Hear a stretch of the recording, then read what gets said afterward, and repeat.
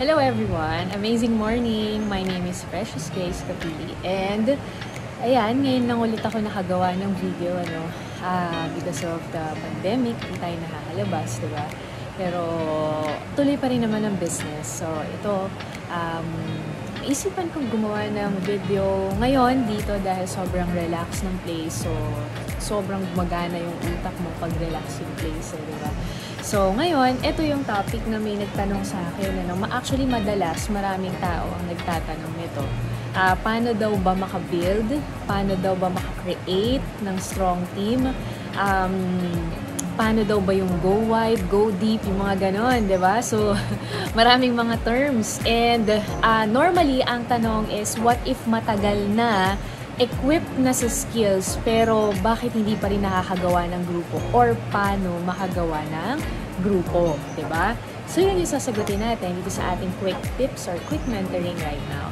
So, first of all, uh, define muna natin yung matagal na. Okay? Kasi baka iba-iba tayo ng definition ng matagal na. To some other people, ang 6 months matagal na. To some other people, 5 years ang matagal.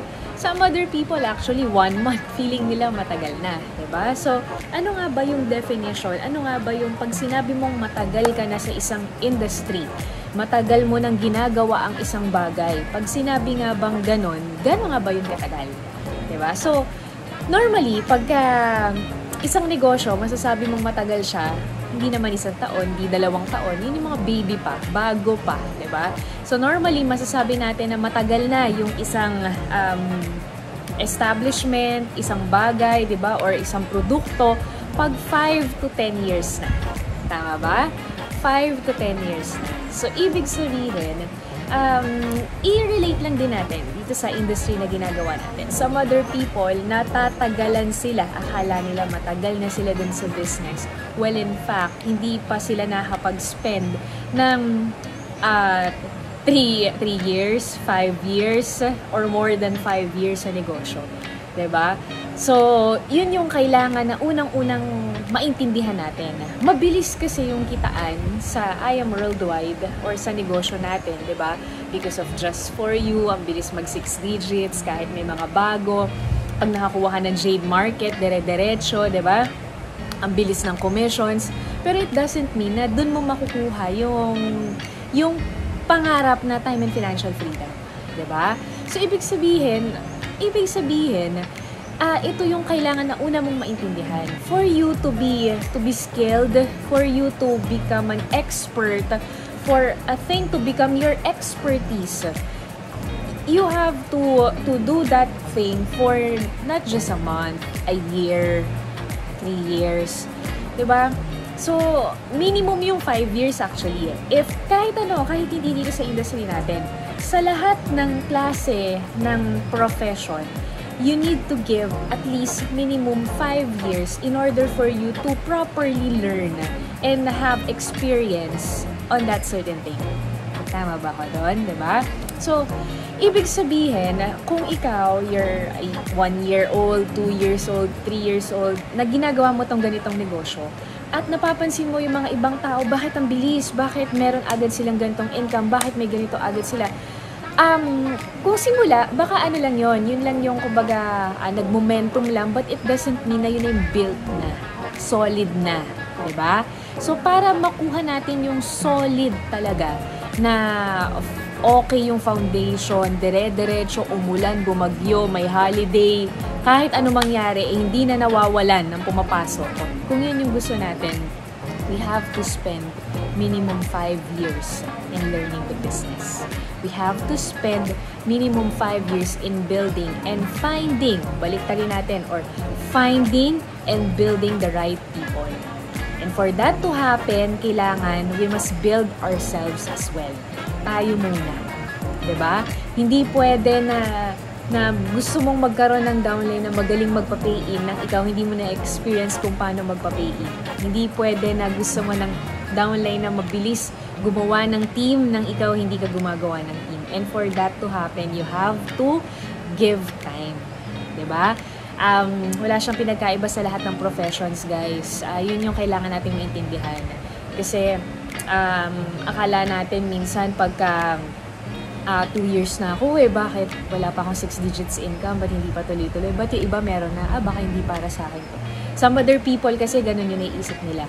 Ah, ito yung iisipin mo lagi. Isip ka ng profession, isip ka ng career, ng business na one year lang nag-take off. Wala naman. Two years lang, very stable na. Wala naman ganun. ba? Lahat uh, namumold in time. As tayo, we need to be molded in time. Um, ganun din yung team natin. So, yung uh, sa akin na, uh, from my experience, it's continuously sharing the business. Continuously, never-ending sharing of business. Never-ending sharing of the opportunity. Never-ending sharing of the goodness of the products. Yun siya. Yun ang napansin ko talaga. Uh, yung iba kasi ang from from the beginning pa lang ang gusto na agad nila income without the sharing part, without the rejection part. So that's impossible. Kailangan mo talaga ma-experience yung lahat ng mga ng mga ganon, ng mga rejection para matuto tayo, 'di ba? So basically um, nagsi-start ako, um, normal yung, yung people come and go kasi depende sa depende sa pagkakaintindi nila sa business, depende sa sa mangyayari sa kanila, 'di ba? Pero basically ang important dito ikaw. Hmm, ikaw talaga. Yung kung ano yung paninindigan mo, kung ano yung nakikita mo na mangyayari sa iyo, yun yung kailangan mong panghawakan. Kasi again, uh, hindi mo makukuha ng, ng ano eh, ng 2 years, 3 years. Pwede kasi mong makuha ng ganon, pero hindi pa yun yung time and financial freedom. With I am worldwide, pwede ka kumita ng 50,000 a month, 100,000 a month, pero wala ka pang solid team because of the beauty of the compensation plan. Pero yung with time freedom, na kahit matulog ka, gumising ka, matulog ka, gumising ka, na dire-diretso na solid, it has to be years of work, hard work, and dedication. Focus. Yan. We hear that so much na minsan hindi ko sure kung nagsisink in pa sa mga tao. ba diba? Dahil aware naman tayo kung paano tayo magiging successful. But then, hindi natin nagagawa kasi mabilis tayong mainit.